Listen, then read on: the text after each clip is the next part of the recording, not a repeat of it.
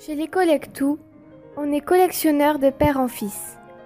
L'arrière-grand-père, Jules, accumula toute sa vie plein de tableaux. Le grand-père Charles avait une passion pour les insectes.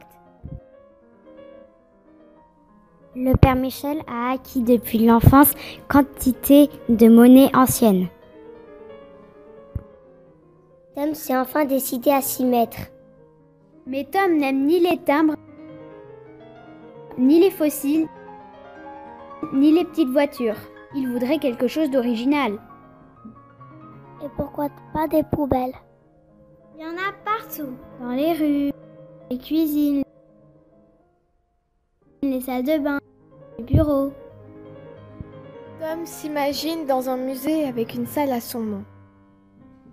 Super, j'ai plein de poubelles mais pas d'anciennes. T'inquiète pas.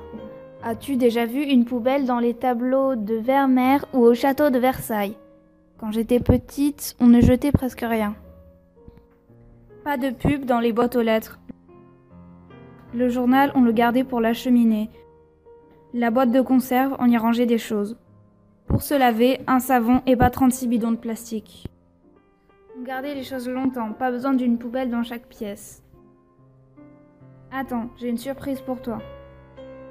Une antiquité pour ta collection, une des premières poubelles grâce au préfet poubelle en 1889.